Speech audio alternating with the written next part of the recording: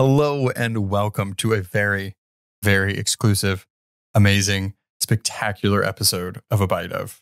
I'm Noah, and of course, always joined with me is my treble to my bass clef. Oh, I was I, I would have said uh, you're the maestro to my daddy. that will make sense later. Keep watching. Yeah. so today we have a very special interview with the maestro themselves, Jinkx Monsoon. I can't wait to get into this. So, housekeeping aside, follow us, leave us a rating, follow everything that Jinkx is doing. Um, you know the drill by now. So, go do that. But we want to give a little background on Jinkx and kind of introduce them and start the interview. Yes, absolutely. So, you heard our spoiler free review probably something like 10 weeks ago when we couldn't really tell you much other than that we loved Jinkx Monsoon. So, in this interview, we're able to hear about some background stuff, where they went, how they got the character, um, and just she's just the best. Mhm. So, just a little bit about who Jinkx is, if you don't know already. You should. Jinkx Monsoon is a two time RuPaul's Drag Race winner, award winning actor, and recording artist. She made her debut on Broadway in 2023 as matron Mama Morton in Chicago, breaking box office records during her extended 10 week run.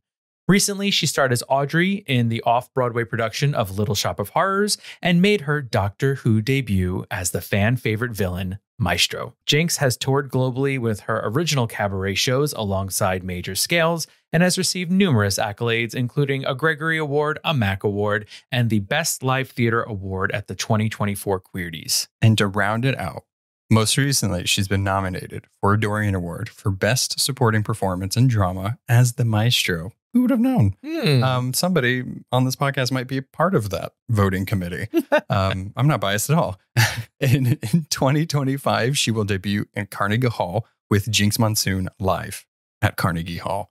I can't wait for that. I can't wait either. All right. So to get into this interview, very gracious. You know, we were we were slotted for a certain amount of time, and we had such a good time that we just kept going. So sit back. We're gonna summon the maestro with the devil chord here.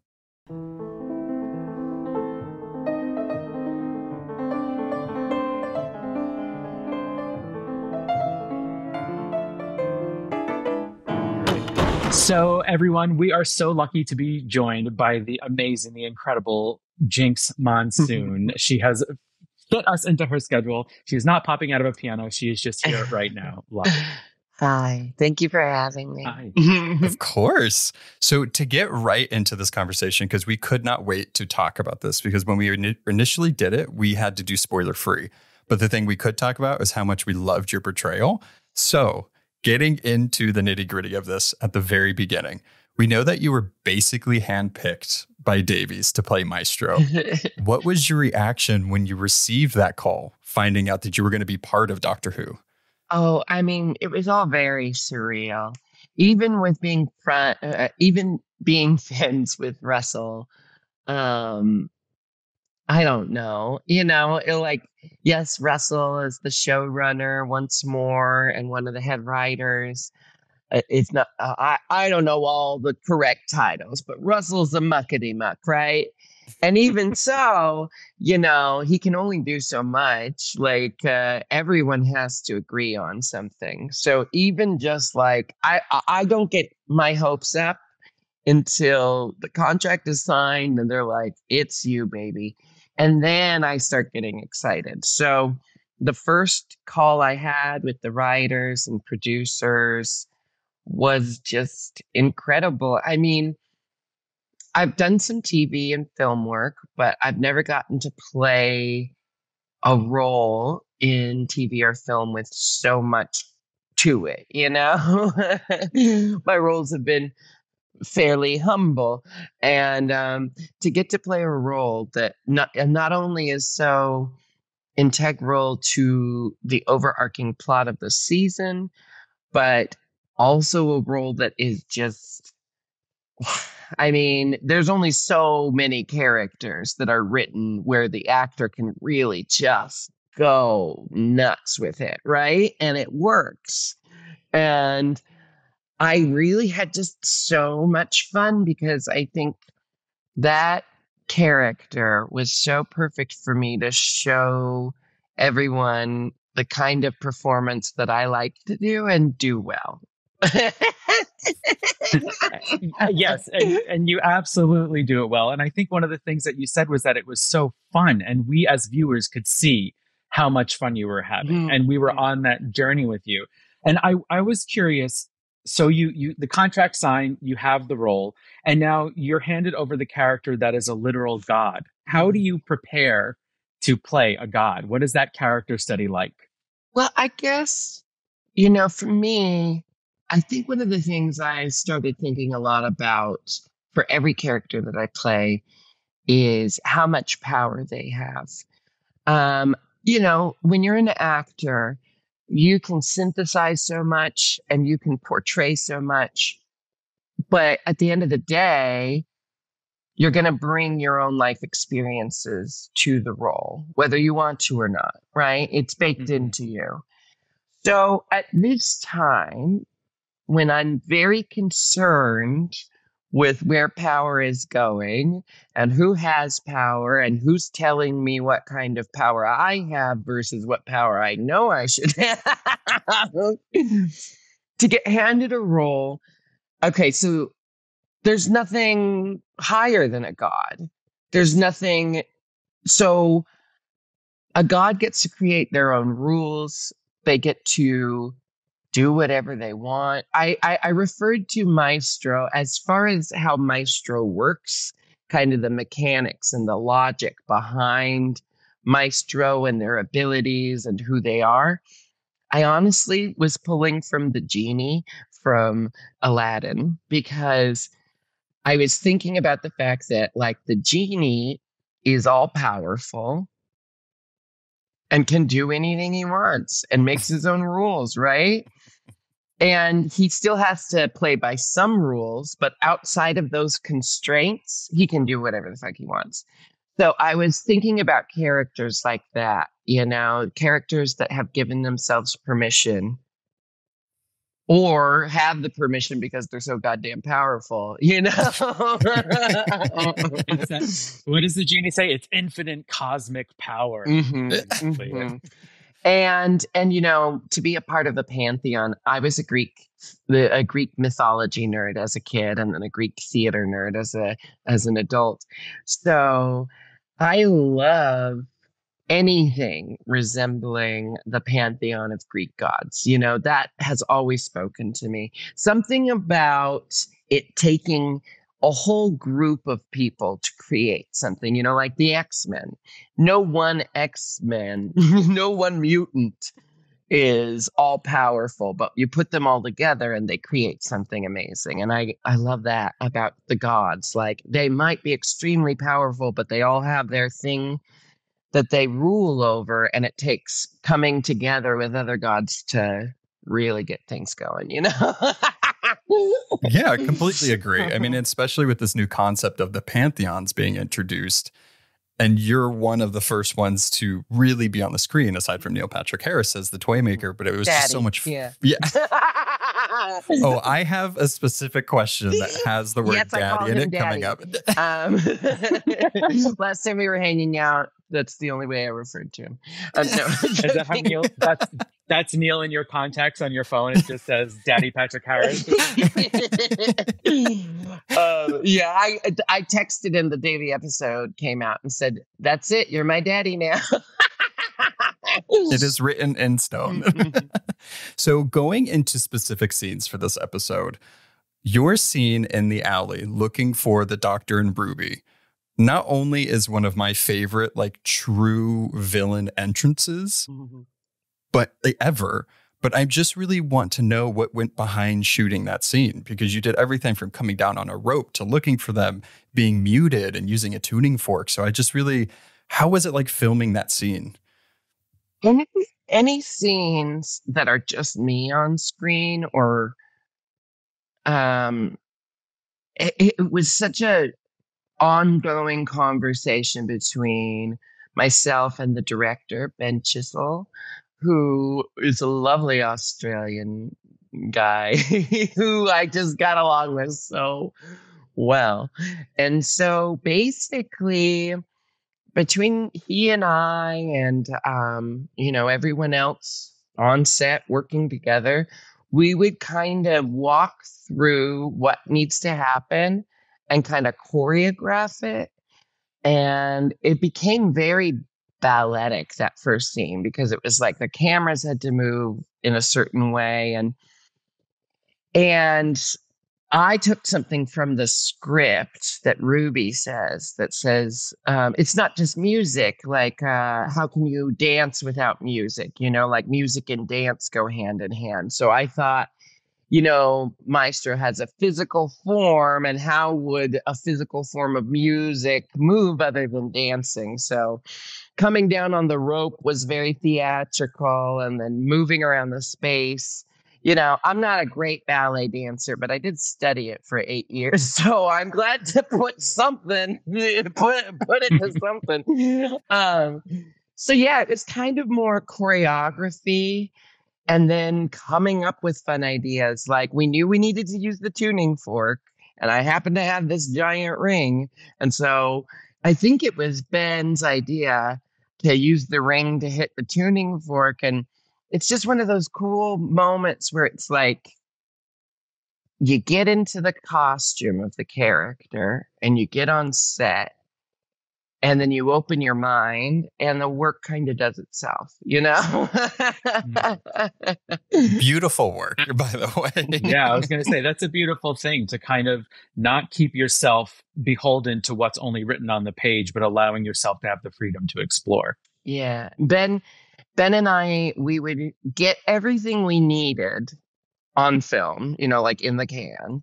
And then we would typically do one or two more of just going for kind of a completely different idea so that we could either go with the like biggest idea or the idea that definitely works or a melange of the two. You know, that's the beauty mm-hmm. of film because you get to kind of um, deliver multiple performances and take the best moment from each one and then blend it all to be cohesive to tell mm-hmm. the story you want to tell that's going to last forever. Because on stage, you change the inflection of one word and it can it can affect a joke. You know, comedy's hard. you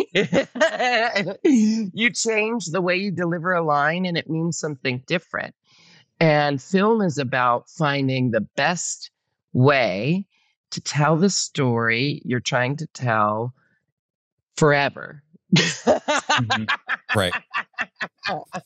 Just forever. Just forever. You know, no and now so taking something where you get to kind of piece things together and there's choreography and there's freedom, but then there's things that are set in stone. I wanted to kind of talk about the music battle scene because we mm-hmm. see a mm-hmm. lot of that. Again, there's there's the spinning, there's coming out of pianos, there's going back into pianos.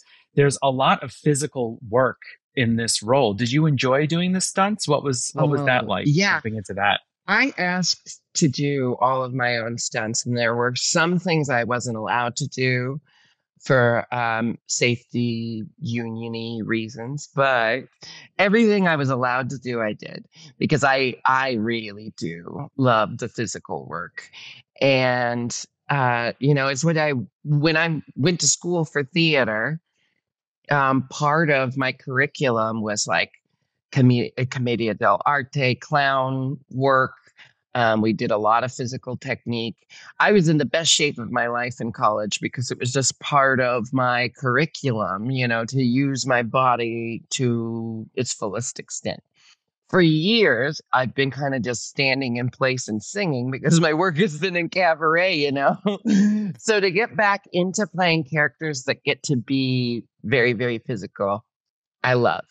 Um, that scene, I can't even remember how many days it took to shoot that scene, but it was a lot because everything in that that music room was so much happening at once. So there were special effects to film and there were stunts to film and then the, the instruments was you know, a whole thing.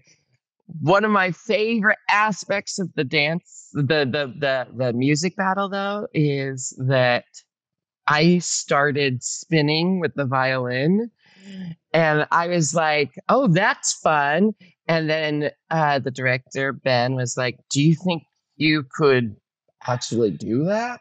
And I was like, "Sure." And first, I was kind of doing it in place, and he was like, "What about moving while you do it?" And so the next thing I know, I'm faking playing the violin while doing chaîné turns around the piano. And that wasn't in the script. It was like music battle was in the script, but we were really kind of like building that music battle together. Ben, myself, and Ncuti and um, Millie. And Russell came in often through the music battle kind of to check in on it and was always so happy. So yeah, in the end, it was like the spinning was like me adding more physical stuff to it to really build the. And I wanted to do something that like, how could a human play? You know, because it, has to be more impressive than just playing a fiddle really well, right? It has to look like something that a human couldn't do. And so, spinning around rapidly while I'm like, mm. you know, and what I loved about that whole scene is it just felt like a Looney Tunes moment. It felt like Merrie Melodies, you know. It was it was scary and intense, but also joyful and fun. And oh my gosh, the way Ncuti smiles while he's playing the piano and he's like making those little faces.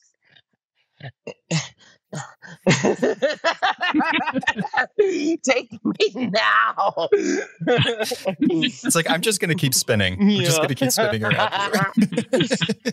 so speaking of music, there's one specific line um, in the future or in 2024 when everything's destroyed, and in that beautiful purple dress, mm-hmm. you sing a song that has the lyrics "Daddy, Daddy" to me. did you come specifically talking about the toy maker? Did you come up with those lyrics? Or no, no, that was in the script.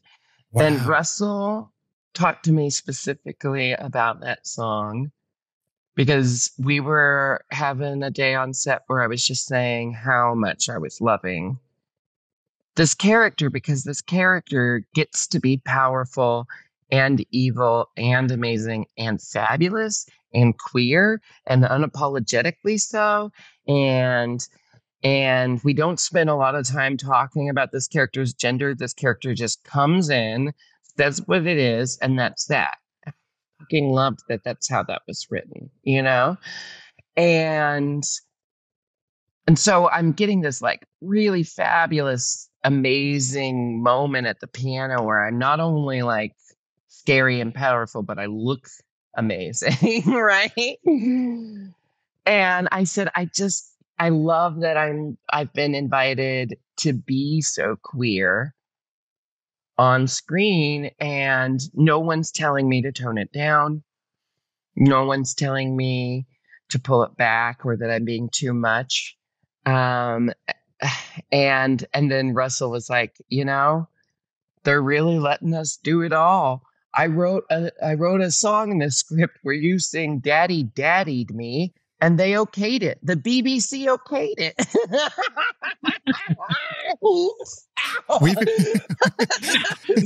so, we've come so far. I know, and and it's so it's I know that the vitriol from the far right is a response to the progress we've made. We know that our freedom threatens them. Our freedom frightens them. They're jealous.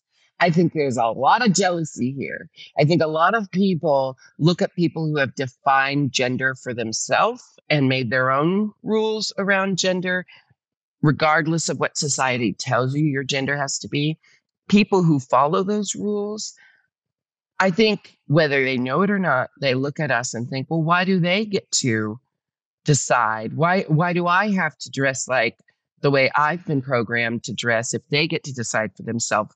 Because they don't realize you don't have to be trans. You don't have to identify as trans. You don't have to be queer for gender to be shitty.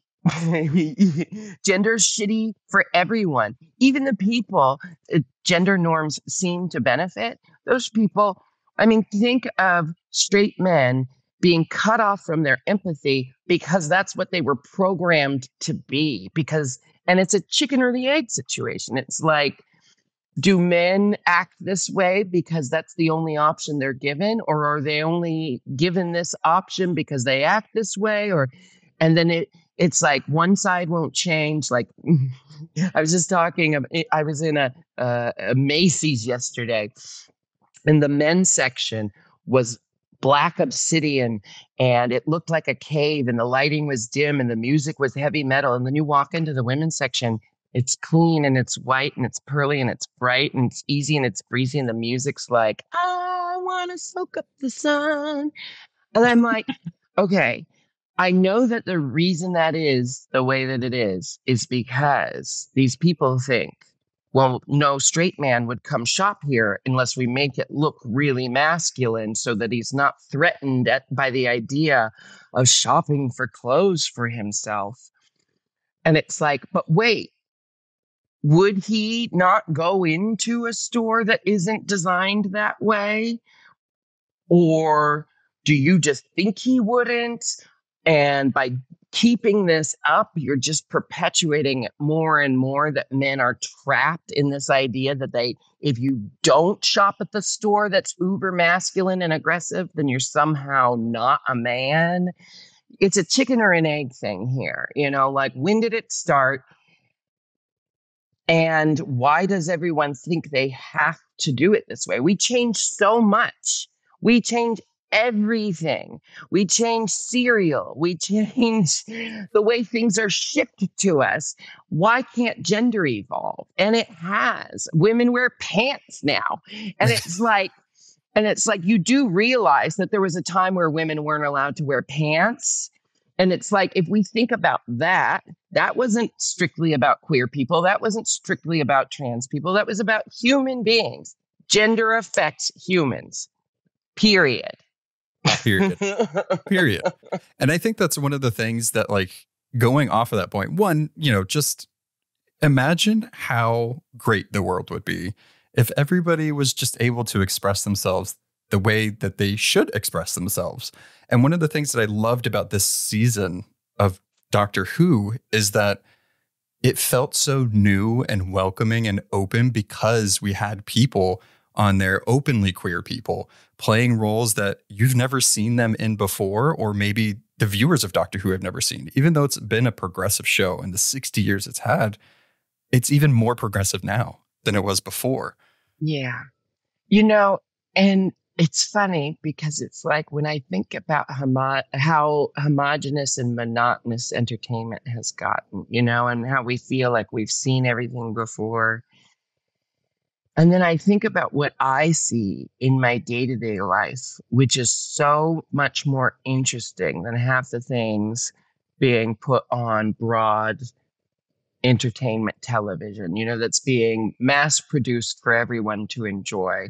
And I'm like, the reason why it's boring as fuck is because you're still telling the same stories with the same people over and over. And then when you show diversity, it's still a formula.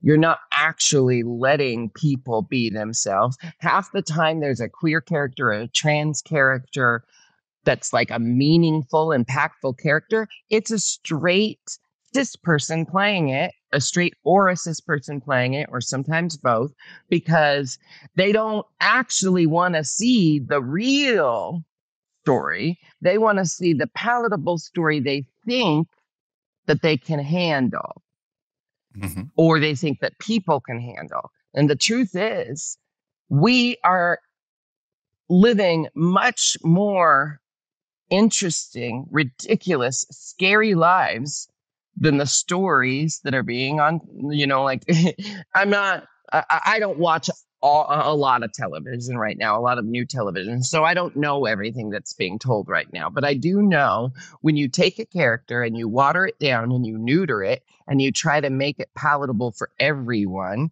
then you get away from the truth. And people are so sick of being lied to right now. And the art that is excelling right now is the art that is being created by the artist, produced by the artist, without people who are trying to wring every last dollar out of it. It's art that is being made because the person is passionate about the art, not passionate about making money, passionate about the story they want to tell, not passionate about like manipulating people into buying something. And that's the art that is excelling right now because audiences are connecting with authenticity and honesty. And when they go see something that's just a bunch of bullshit, even if they're entertained, they're going to forget about it in a second because their own life is so much more interesting than that boring bullshit. Because we're living in a fucking apocalypse right now and we're in a culture war. And I don't want to watch stories that ignore that fact. Amen. 100%. And I want to say that I'm going to I'm going to fan out a little bit here. The the joy of always watching you being you is the joy. Is that whenever I've seen you on screen, you are always so authentically yourself. And I think that's why so many of us gravitate towards you because by being yourself, you allow us to have the freedom to express ourselves. So I'm super grateful for that. I'm getting choked up. So thank you. Well, thank you very much because it's not always easy. And at times like this, I'll tell you that even, even, even the heroes you look up to right now are probably scared. You know, even the trans icons who have been fearless and powerful and have fought for us are probably terrified right now because historically, popular opinion has never been on our side. And now it is. And yet we could lose it all easily very easily. And it won't be a conversation. It won't be a vote. It, it, it'll just be them taking it away if if they come into power. Which is, I mean, is true. I mean, just look at what's been happening. Supreme it's Court. already I mean, happening. Just, right. It's already right. happening. It's they're laying down all the brickwork, and this is just the start.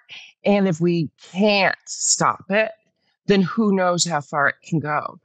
And I know that there are people who don't think that this affects them. And there are people who maybe even want this to happen because of all the things we've talked about the fear, the insecurity, the jealousy, the hatred that they've been programmed to have. But the thing is, every story, every piece of art, everything that has to do with this topic has told us our whole lives the oppressors are the bad ones. And even if momentary good comes from it for the people who want this to happen, when you eradicate all of the problems, you'll find new ones and you won't be safe anymore. You will eventually do something that puts you on the enemy list. And then you will understand what it feels like to have zero autonomy in this situation. So I just want everyone to know that even your icons and your heroes, I'm putting on a brave face because I know that that's how I can help right now. But I am terrified. And I don't know how to stop feeling terrified. So I'm walking down the street every day in this duality of trying to live my goddamn life the way I've always done and keep being authentic and keep being that strong person for my community and keep receiving the love and giving it back out there while I'm also feeling like there are people who see me as absolute nothing and there are people who still shout slurs at me walking down the street because they feel empowered and emboldened to do so right now. And what makes me more upset than them is the people who turn away from it, who just don't want to get involved. So I know that there are times when doing the right thing is inconvenient. But I mean, come on, humanity is at stake. you're going to have to just give up some comforts and luxuries for a moment if that's what's required of you. If things are going to be a little inconvenient for right now, I'm sorry, it's better to be a little inconvenient now than to literally live in a Nazi state later. I just wrote down humanity is at stake. That is real. That is incredibly real. And thank you for your honesty about the duality that you're living in and how we we all, we look up to you, but there you are human and you have fear, and I think that is such a real emotion because this is a very real situation and time that we're living in. So thank you for for sharing that. Well, you know, I got to say I I get through my days with that fear and that and, and that anger. I have a lot of rage. but I get through it with the support of my community. Truly. When I go do a show and the stage door is buzzing with people afterward, people who are like me who just want to know that there's a place in the world for them down the down the line down the road you know young people wanting to just be themselves in the future. And i know that when i invest in my community my community invests in me. So i get through the fear and the anger because i know that i have my community. And I think one thing that I'm finding very sad is that I think what leads people down this path of hatred and this path of bigotry is not having a community like I have, like the queer community. Or if they have a community, it's so small and so insular that they're not meeting different people, they're just meeting other people like themselves. And the most beautiful thing about the queer community is it's global. Queer people exist everywhere. Whether it's safe for them to exist there or not, they exist there. And if you got rid of us all today, more would be born. It doesn't go away. It's not a thing that you can eradicate. It's just part of existence, queerness. Okay.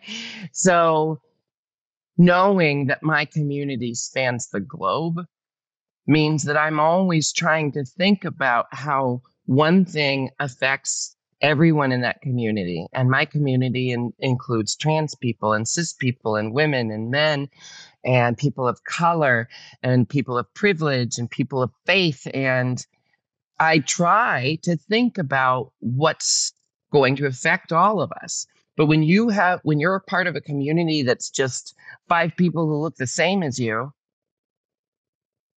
you're you lose touch with your empathy and your compassion for other people because you're not thinking about them. You have it, and then you mm-hmm. convince yourself you have no reason to think about them. But the thing is, we all are part of a global community we live on earth and it's dying and a lot of people are being really crappy roommates right now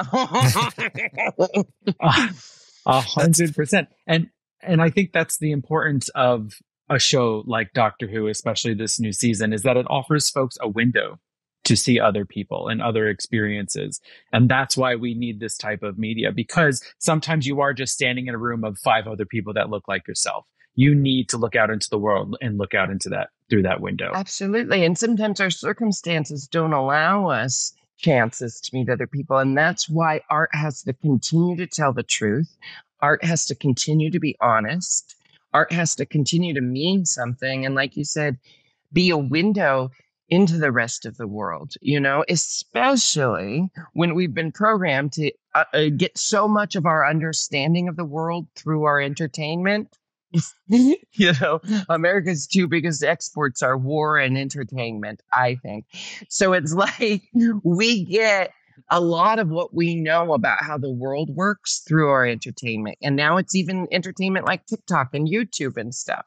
So there's a lot of stuff out there.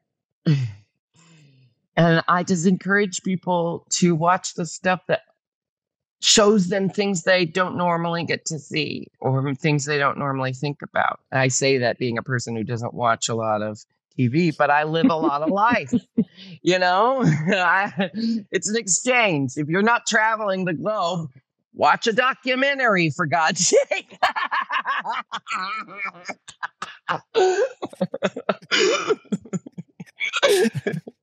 That's the advice. Watch a documentary for God's sake. That's the advice. I was hoping that we could. I know we're a little limited on time. Is it okay to sort of get into our lightning yes, round yes, yes, of yes. questions? I'm a talker. so go for it. I'll well, be lightning. we're- I'll be lightning, and we're going to try and catch you in a bottle. Oh, One- okay, Wait, so before before we get into it, I did want to ask this one Oh, oh, question because we do ask um, our guests this just just Mm-hmm. to kind of see outside of what we're talking about. Um, what are you currently like obsessed with? What are you currently indulging in? It could be food, it could be music, it could be anything. Um, well, I'm a high functioning stoner. Um, but that's kind of constant, so that's not like a new thing. But um what am I indulging in? Okay, so I've been uh okay, my guiltiest pleasure is the TV show American Dad. um and I have a communist socialist friend who loves American Dad for some reason. so when he comes over, I watch it with him, and it's like watching it through new eyes. And he sits there and gets really into the plots. And so I already like American Dad, but I guess right now what I'm obsessed with is showing it to people who don't normally watch. um, I also I play a lot of video games and I go through phases, but I have been on a long, long like the only game I have like the attention span for right now is Overwatch. And so it's like I wake up, I play about three rounds of Overwatch, and then I start my day. so That is literally me every morning. Who do you mostly play? I do have to ask that follow up question. Me too. but lately I've been really kicking ass at D.Va, which was the first character I played as. And I'm trying to get better at DPS. And so Symmetra's my go-to DPS, but I'm trying to get better with Ashe because they just released that like Rita Repulsa inspired costume. And I'm like, I never play as Ashe, but now I need to get good at her just so I can wear that costume. oh man, I I can't even think of like maybe we've been in the same match together and I just didn't even know. okay, this is uh, last thing, and then please the lightning round. But um, yesterday, okay, so my uh, my Overwatch tag, my like Battle.net tag is just Jinkx, right? My I'm Jinkx Monsoon, and I play as Jinkx, right? And then sometimes I see gamer tags, and I'm like, okay, well, I know that's probably not Nicki Minaj, but I am Jinkx, and my name on here is Jinkx. So it could be Nicki Minaj. I could have just won a match with the Weeknd. I don't know. That's the beauty of Overwatch. Jinkx, Noah, Noah was just playing yesterday morning and he goes, Someone's name is Nicki Minaj. I don't know if it's Nicki Minaj. it could be Nicki Minaj. Um, I will say this though. Um, uh, Jhonen Vasquez, uh, uh, uh, I probably just butchered his name, but the creator of Invader Zim, Invader Zim. he's a pal, and we. Well, it's been a while, but we used to play Overwatch together. And my teenage brain was freaking out because Invader Zim was my favorite thing at like 12, 13 years old. And the fact that my adult self is now playing Overwatch with its creator is really surreal. Anyway, lightning round, go. All right, let's go to the Lightning round. All right, so these were sent in from our listeners. We had quite a few to choose from. So the first one Did you take anything from set of Doctor Who? No, no, I didn't. No. None well, of they those should give you outfits. something. No. Right. it all goes because Doctor Who is what it is. It all all goes into the archives because you never know when there might be a museum exhibit about it. You know? All right. I next want to be the. Doctor Who archive uh, archivist. That's awesome. Next question. What was your favorite scene to shoot? Mm, uh, the, the, my my entrance scene because I got to fly, because I got to be rigged up, and I told them if I ever come back to the show, we need about twenty five to fifty percent more flying for my character. Can I we said I just never want to touch the ground. can we just have the maestro constantly floating in That's every scene? my hope. That's the power of the maestro. Uh, the next question is What other series or films would you love to play a villain in? Oh, oh, I'm going to manifest something here. My favorite book is called Circe by Madeline Miller, and I've heard whispers that it's going to be made into a series. So I'd play a villain, I'd play anything uh, in Circe. It was Circe is one of my favorite mythical witches. Anyway, uh, so Circe, uh, uh, oh my gosh, I have so many things, and now I can't think of any of them. Oh, I'd be a villain on Bridgerton, hands down. Get me in a period Yeah. piece. That's what I want to do. I'd play a fop in Bridgerton. Ooh. Maybe like a rich fop who who who does drag uh, privately, you know, because that's rich people have always been doing everything that rich people are now trying to ban. And you know what? The things that they're trying to ban, they'll probably still keep doing it. You think that you think the closeted Republicans aren't still going to have their gay lovers? No, they're not going to give up a goddamn thing. Anyway, go on. if I had a nickel for every straight man I slept with, go on. How many nickels? Uh, How many? Mama, I wouldn't have needed to win RuPaul's Drag Race. Twice. So, next question, which we got a lot of Are you coming back as the maestro? I don't get to say anything about that because I don't know. And I actually do really want to respect the process. Um, I don't want to interfere with the storyline of a show that I personally love. Um, that said, while I was on set for the Maestro, um, Maestro's first appearance, I was constantly pitching, like, well, you know, Maestro could come back in this way. Well, you know, Maestro doesn't really die in the end, they're just banished. Well, we have kind of established that Maestro has a little bit of the hots for the doctor, so you know, like It's right there. So it's I, right there. I, have definitely been planting the seeds. I mean, a spinoff with you and Missy. Why not? Please let me work with Michelle Gomez. I also said that I'd come I'd come back to the show in any capacity. Like if they wanted me to play a different character, if they wanted me in prosthetics. I mean, God, I'll play a stretch of skin if I have to. I love being a part of Doctor Who. and the people want you to be continue to be a part of Doctor Who. That is the truth. Um, so the next question we got is a little away from Doctor Who. What is next for you, Jinkx Monsoon? Um, I have kind of been answering this question the same way, which is I really just love what I'm doing and I want to keep doing more of it. Like I want to keep doing more TV and film roles. I want to keep doing more Broadway. It's like I have hit the point where that I have worked my whole life to get to.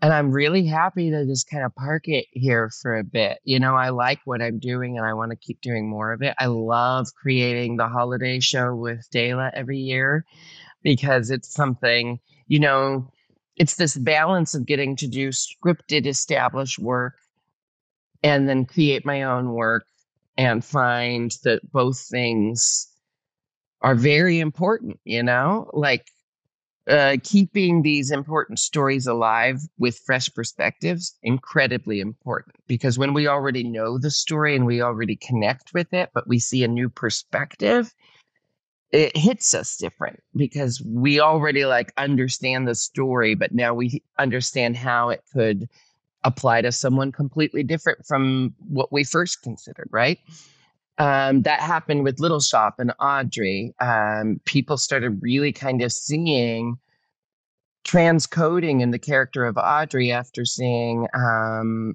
MJ Rodriguez and myself portray uh, portray this character that I now believe was written with transcoding in it. Like I now believe that Howard Ashman based Audrey off of either a drag queen or a trans um, woman that he might have known and couldn't have put into the show at the time as a trans character. So made her cis, but let her be a fucking cartoon character, you know, like Audrey is, right? Um, and uh, so I think that's very important. Uh, telling our beloved stories from a fresh perspective. And we're seeing a lot of that. And that's the only kind of reboot I want to see. If you're going to reboot something to just like make it look the same as it was before, there's no fucking point. Um, and then uh, creating your own work is, uh, it, it allows me to talk about what's happening that year. It allows me to talk about what's happening in our community and it allows when I create my own work, that's where all my rage goes. Like I take all my rage and I push it through the funny filter and it becomes comedy. And the message is clear, but I instead of yelling into the void, I I I I make my audiences laugh and think. so where we wanted to end this, uh, we got a lot of messages and comments that weren't even questions. And we wanted to echo this as well. They a lot of people said, we don't really have a question. We just wanted to say how much we loved Jinkx's performance as the maestro and how much it means so much to people. Um, and we got a couple that were I didn't even you know know about Jinx, and now I do because of Doctor Who. Um, but so we wanted to echo that same sentiment um, of just how amazing you were and how much we love it. Um, so thank you. Well, thank you. And, and just oh, sorry, go ahead. Sorry. I was saying just how happy happy we are to see you continuing on this successful track that you're on, and just bringing the jinx of you mm-hmm. into the world. So thank you. Well, I just want to echo what I've said, which is my community has really, really uh, made me feel like I'm exactly where I'm supposed to be and that I'm doing it with a purpose and that it means something more than just having a dream fulfilled. You know, like to to make it to a place that I wanted to be as the person I wanted to be that I first saw for myself at a very young age, but kind of thought might never happen. And at points in my life accepted would never happen and now to be here and to be like me you know and and, and to be becoming every day more myself than the me that I've always seen for myself it's the support from the community that makes it feel like more than just getting my rocks off you know? It's like knowing that it has a purpose and that if I show up and do my best work, that's me serving my community. Like,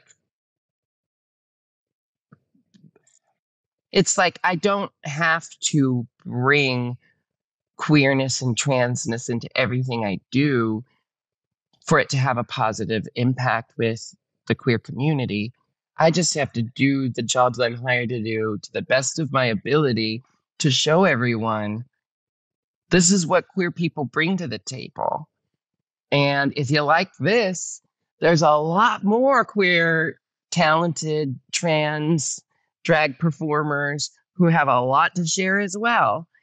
you know, like, I don't want anything to ever just be the novelty of having it once and then, hmm. you know, I want this to be opening a door and a window and a garage. Open everything.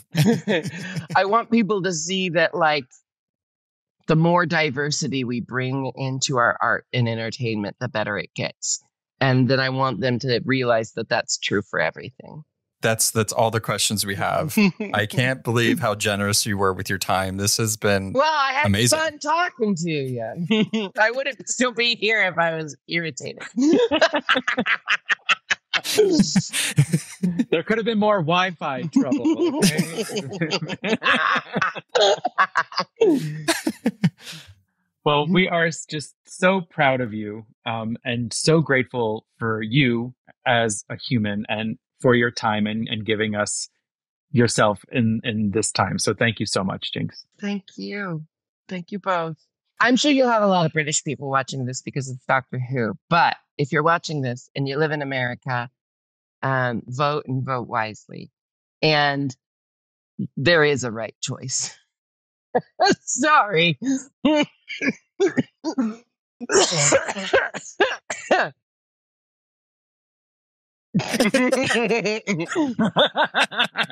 and we're going to end it right there.